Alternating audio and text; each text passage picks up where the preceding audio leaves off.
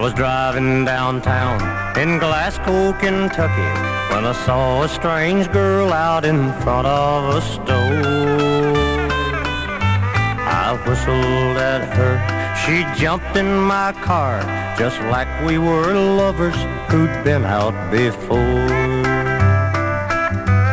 She told me, step on it, let's get out of town.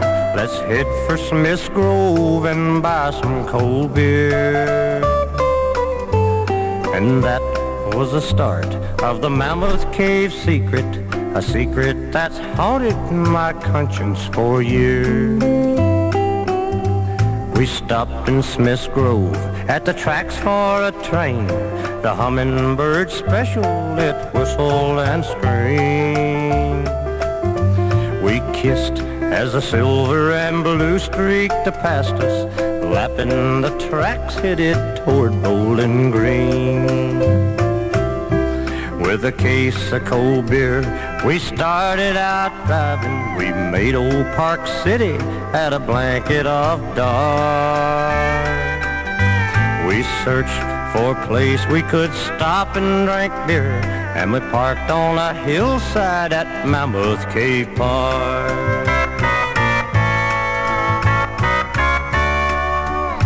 She resisted advances for some unknown reason. She jumped from the car and she screamed up the hill.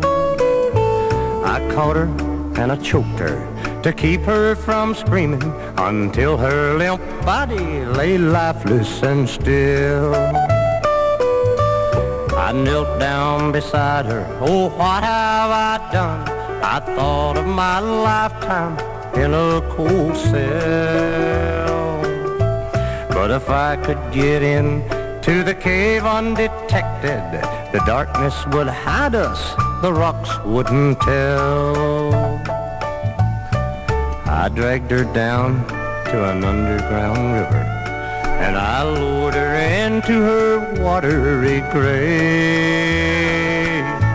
Just me and the blind fish that pick at her bones would know the dark secrets of old Mammoth Cave. Come closer, come closer. I know I'm dying. I'm doomed to meet Satan. This curtain has fell. But the Mammoth Cave secret is a secret no longer. Oh, Lord, I just had to tell.